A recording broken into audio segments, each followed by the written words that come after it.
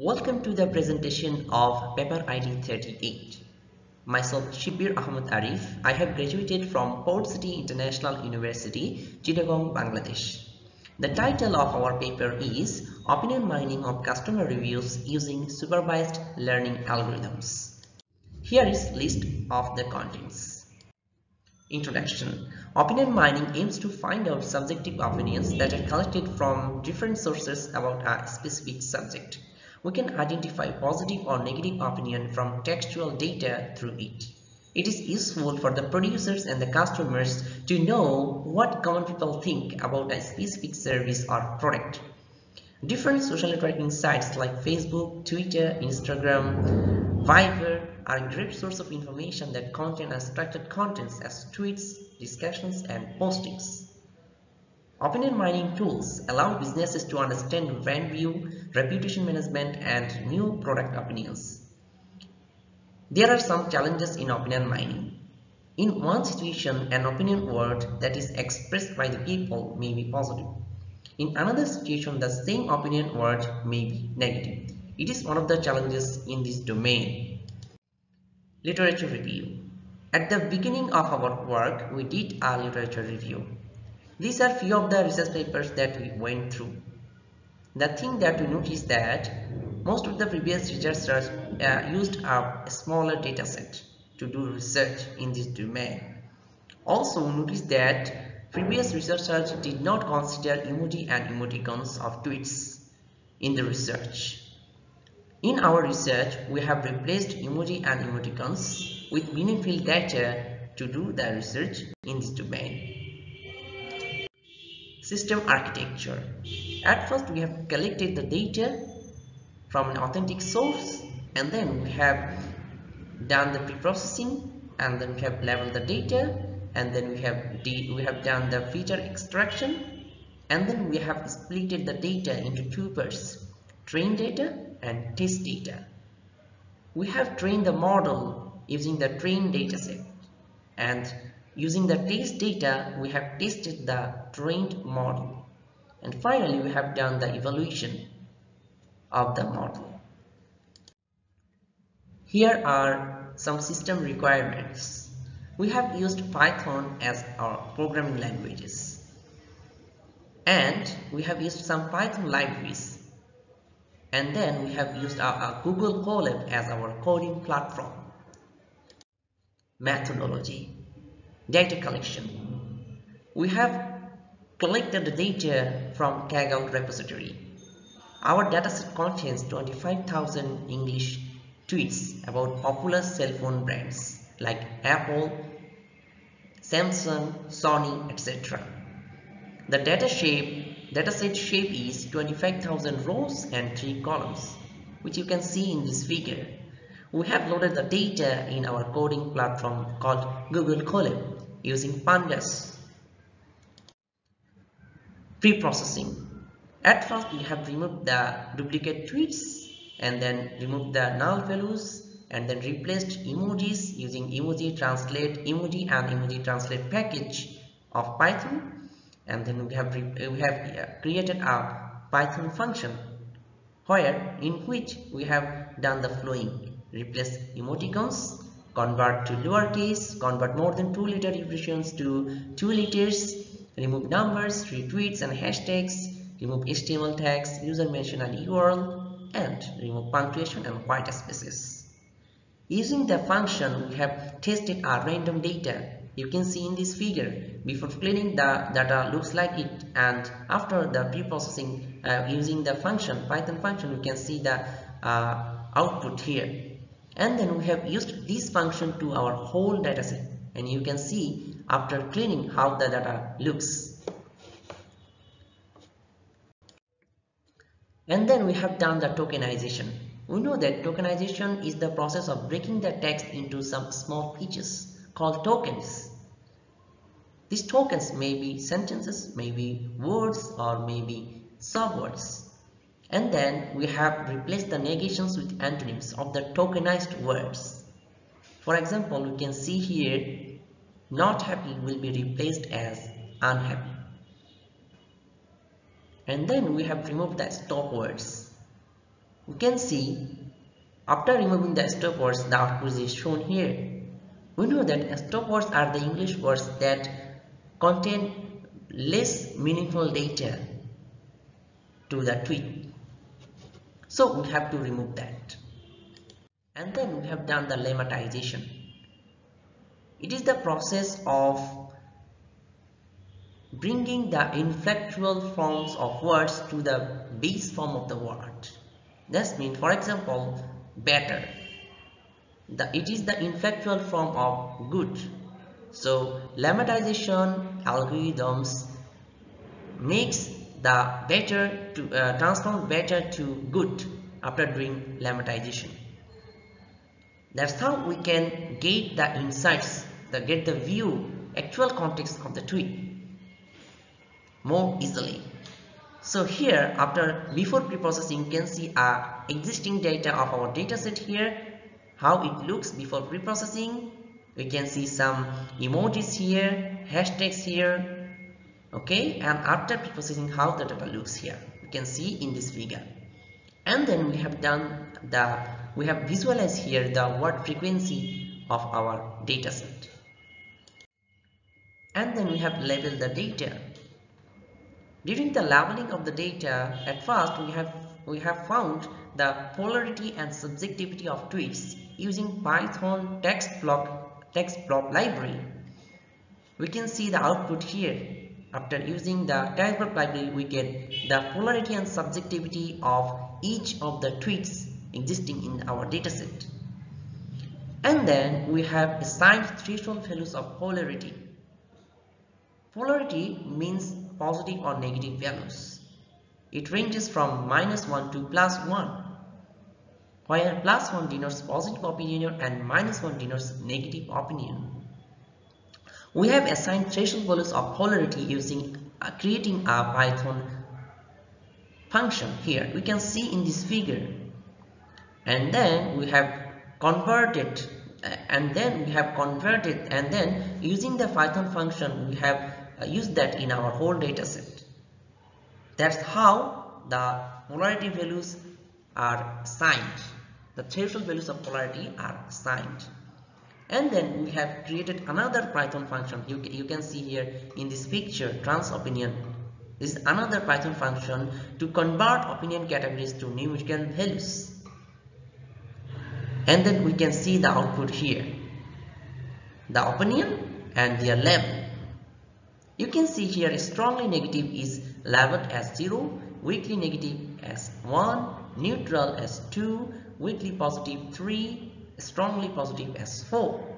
That's how we have assigned, we have uh, converted the opinion category to respective numerical values using this Python function. And then we have shown the opinion per category in this figure and then we have removed the unnecessary columns you can see in the previous figure and you can see here right only tweet and their respective levels and then we have done the feature extraction. That's mean vectorization. As the machine learning models only understand numerical values we have to convert all the text data to the numerical values.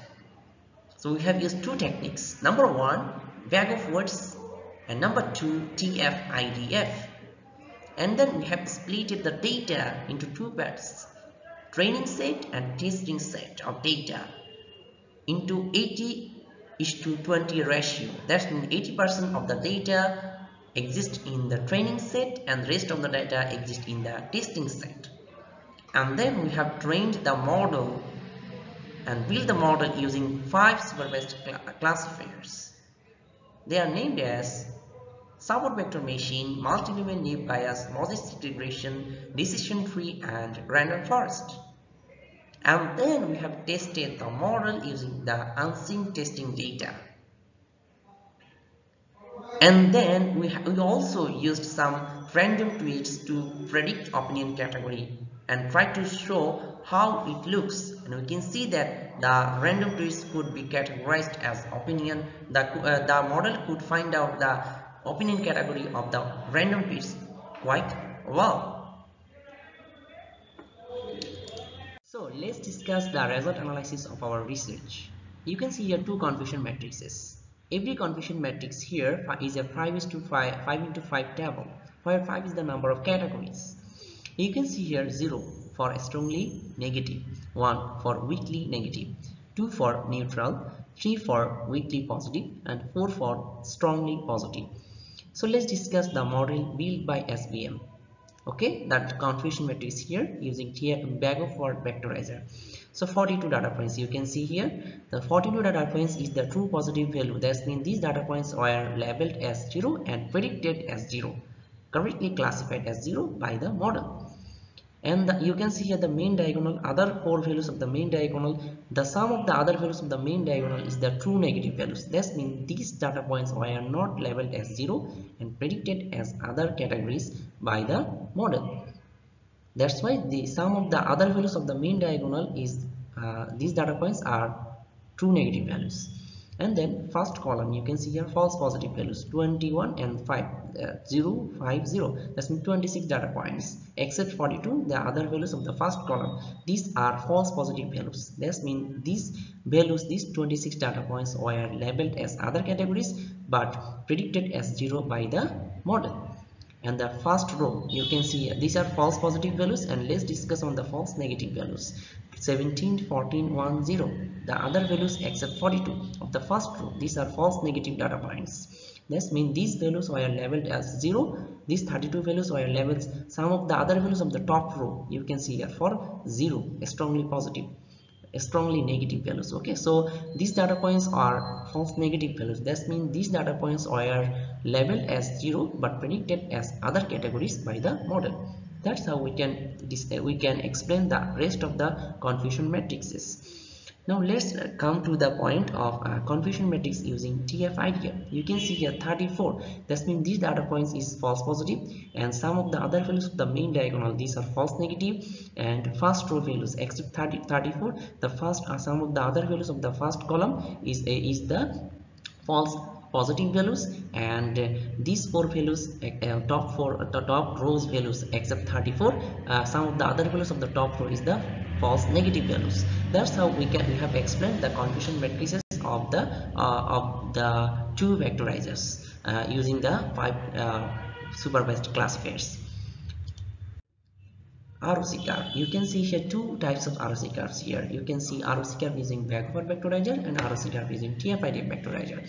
Let's discuss on the model uh, on the ROC curve of uh, of the model built by SVM on both vectorizers. ROC curve that's mean receiver operating characteristic curve. Uh, it's uh, the quantity is AUC here area defines AUC area in under the curve uh, if AUC is equal to 0 that means the model prediction is 100% wrong. If AUC is equal to 1 that means the model prediction is 100% correct. So in this ROC curve you can see here 0 1 2 3 4 and there are some area of the respective classes right? Or the respective categories. So uh, 0 you can see ROC curve is a curve where uh, one versus rest strategy is followed. That means the curve is drawn. The curve uh, the this shows the mod how the model has differentiated the categories from other categories. One categories from the rest of the four categories. Okay. So you can see here the maximum value is 0.98 for two cases. Uh, 2 and 4 that's mean neutral and strongly positive. That's mean the model could differentiate 2 and category 2 and 4 from the other categories uh, by 0.98 area and area okay? So and we can see that the rest of the uh, area values is greater than 90 so we can tell that our model could differentiate one category from the rest of the four categories quite well.